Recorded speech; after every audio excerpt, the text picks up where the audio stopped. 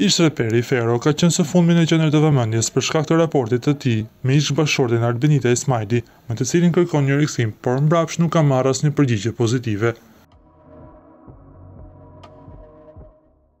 Dhe jo vetëm, që kur iu përkushtua fesë, Fero ka bërë disa ndryshime në paraqitjen e tij. Në fillim e pamë me mjekër dhe tani duket se për hir të besimit të tij, ka rruajtur edhe kokën.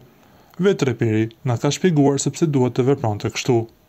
Pas përfundimit të sajit, burrat e rruajnë kokën apo i shkurtojnë flokët, ndërkohë që rruarja e kokës është e mirë, pasi që Pejgamberi është lutur tri herë për atë që e rruan kokën dhe vetëm një herë për atë që i shkurton flokët, Kurse gratë i shkurtojnë flokët sa maja e gishtit, publikon thënien në Instagram Fero.